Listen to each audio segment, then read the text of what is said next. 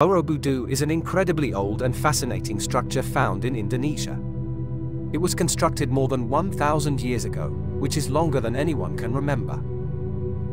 It's made up of nine levels stacked on top of each other, like a tall tower. What makes it even more special is that it's covered in detailed pictures and statues of Buddha. Borobudur holds a special place in the hearts of people who follow Buddhism. They believe it's a holy place where they can pray and find inner peace. For many years, Borobudur was hidden by nature. It got covered in dirt and trees, and people forgot about it. But in the 1800s, some adventurous folks found it, cleaned it up, and shared its beauty with the world. Borobudur is like a treasure chest for Indonesia. It's a symbol of the country's rich history and reminds everyone of the importance of Buddhism in the past.